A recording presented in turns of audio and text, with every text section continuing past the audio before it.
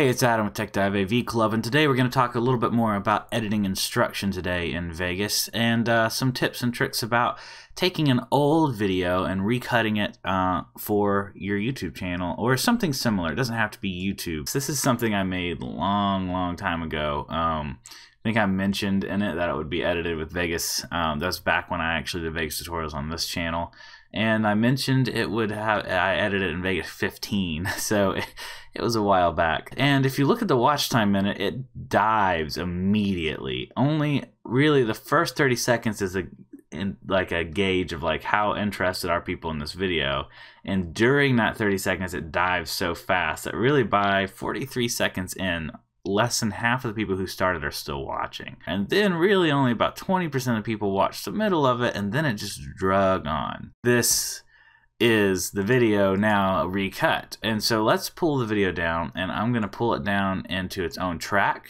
here. I put it in the very top because I've done some track work and things. We're not going to watch the video. I'm just going to give you some notes about problems with the video to help you identify problems with your video um, and, and, and talk about like editing things that we can do to fix these problems uh, and to give the video a better chance of life. So first off, uh, you know, if you knew anything about NESs, I thought blowing on a cartridge uh, and kind of putting it to the camera would be a funny little intro here. Um, so let's let's watch it real quick. Okay, yeah, that was a mistake too. So first off, I didn't even cut the beginning. I cut it too close to where I messed up there. So.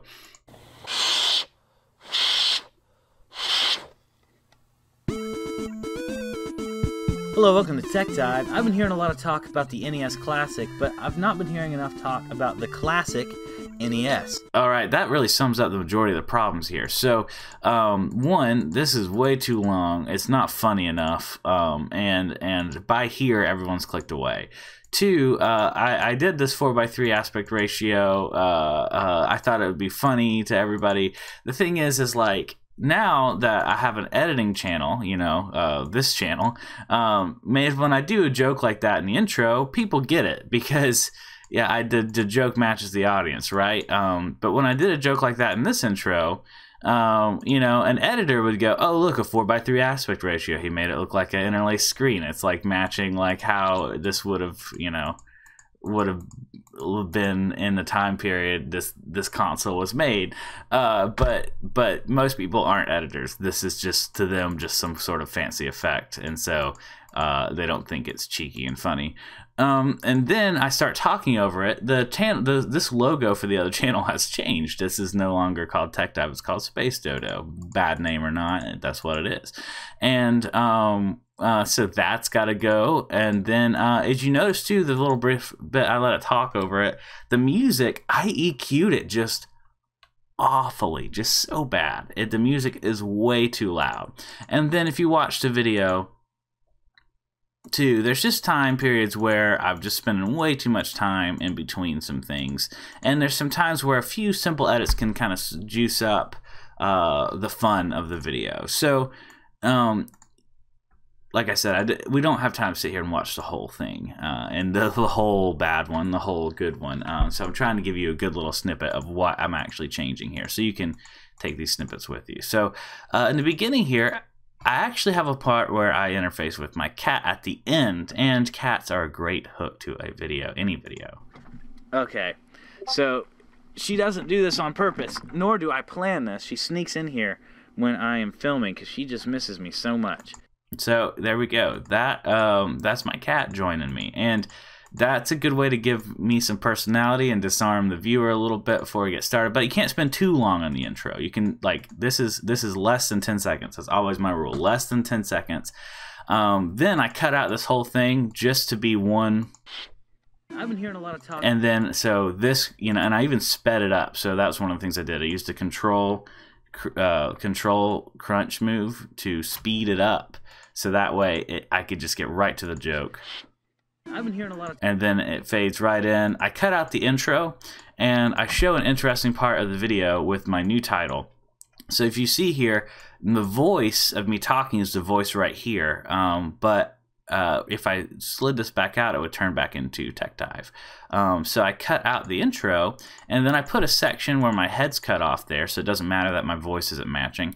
Uh, and uh, the NES kind of freaking out to kind of give a little hint of like, you know, we are going to see this on. Uh, we're going to see some fun things about this. Uh, and I dropped my logo uh, in 3D space too. So the logo here, um, to make it match the TV, I went to the composite modes and I went to 3D Source Alpha, and I actually made this look like it could kind of laid against the TV in depth. Um, so uh, that that was just a simple layering there, and uh, oh, and I pixelated this too.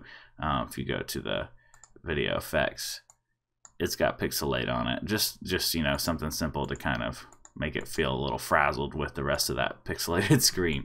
All right, so I had to give a little note too. Uh, there's a time change where something I said just didn't sound right anymore, uh, so I had to clarify that this was filmed a long time ago.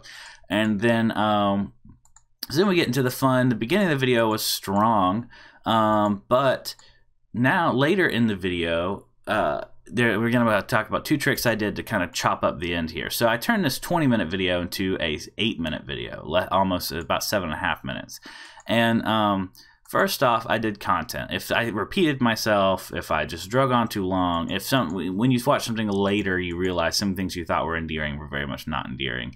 If you're doing the same thing over and over again, cut it out. But you know, it's okay to leave pacing to have a moment where things might lull for a second. I'm not saying it has got to be 100% all the time, but a lot of times the lull is dangerous. You got to be real careful about how much lull you leave in. So a lot of this is lull cut out. And so right here too, you see some things. Uh, I did something where I talk about actually putting the console, the cartridge in. So, so I just did a simple zoom in on me putting the cartridge in, and when I cut out the me, the longer parts of me putting it in, and and getting it going and stuff, and because what's interesting there is how this me mechanism actually works, and so uh, so sometimes I zoomed in on me hitting it. Um, if their eye isn't naturally guided to the interesting part, you as an editor can do simple things like zooming in to guide their eye. So the music was too loud. Um, good thing is I didn't leave music on through the whole thing, so where I didn't have music, I left the music out. Um, but where I did have music uh, in the intro, I needed to go in to this track here. And first thing I did is I put a limiter on it um, to make to soften the whole track, and then um, and that's just from this drop down here. I grabbed a limiter, uh, and then for the track EQ, here's something I did. The music had a lot of bass and stuff, and the bass was pretty strong. And I think I actually artificially bumped the bass, so I actually lowered the bass. Uh, but if the voice, your voice is kind of sits about right here. Um, I actually popped up the part of my voice that wasn't coming through very clearly. I popped that up so I would pop up not as much music but as much of my voice as I can. And then I also right here it was kind of muffled at points so this got rid of some muffling popping up some higher frequencies. So this is this is your voice, this is muffling. This is high tones. Uh, you, the music had high tones and had low tones, so I did what's called a roll off, where you take the beginning and the end and you just kind of let it roll up and down to kind of choke out. Uh, roll off is good for voices because voices don't usually have super low or super high tones. Um, so boom, that helped mute the music some while I helped kind of push my voice up. Now this isn't um, the best EQ in the world. An audio guy would look at this and go, oh, oh, because they try not to like artificially bump things. They would rather do it different ways. But as a video guy, I think this is plenty good. It accomplished my purpose. My voice came through a lot clearer now, if you listen. So the music's still too loud, but it, it does kind of reduce that issue. Thank you so much for watching. I hope this helps you um, kind of repurpose and retool some of your older videos that may have been uh, canned, uh, just never got any views. Uh, videos that you thought had some life in them, but maybe your editing skill didn't reflect the life in them. Because, um, yeah, you know what? Uh, at the time, I was doing editing tutorials, and I tell you what, this is a bad edit. I looked at it and I was like, wow, how did I do this? Why did I do this? Um, but it happened. So, thanks for watching. Like this video helped you out. Subscribe if you're looking for more editing tips like this one, or just how to learn more about Vegas Creative Software.